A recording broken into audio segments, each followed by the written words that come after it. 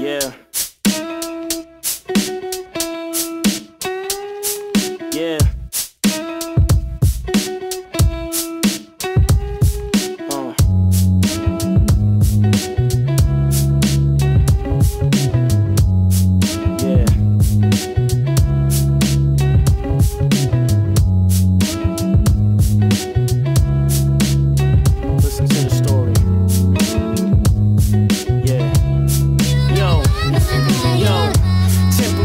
laughing. Everything was good for a year, and then it turned into the gasping. Yeah. Saw the backside of his hand coming at you high speed, so a lot of aspirin you would need. Yeah. Trying to make it to the exit, but every time you wanted out, he said no change, and you believe him every time he says it. Uh -huh. The pain game, no benefit you again. Just some more A and D for all the bruises he gave. And the floor's covered up with your blood stains. Funny how the love changed. Wonder how you deal with it some days. Uh-huh. Try to hide the pain, but it's hard. Hard to keep your eyes dry, cause your soul is eternally scarred. You implore for God to have your life restored. Still waiting for a change, all your prayers ignored. And you scared to break the news to your family. What a damn calamity, saying that they won't be understanding me. So it's hard to confide in anyone, cause how would they react? So everything you choose to hide. The Lord said that suicide is a sin, even though it's really hard to try not to give in. At times, a lot of things run through your mind, wishing God gave the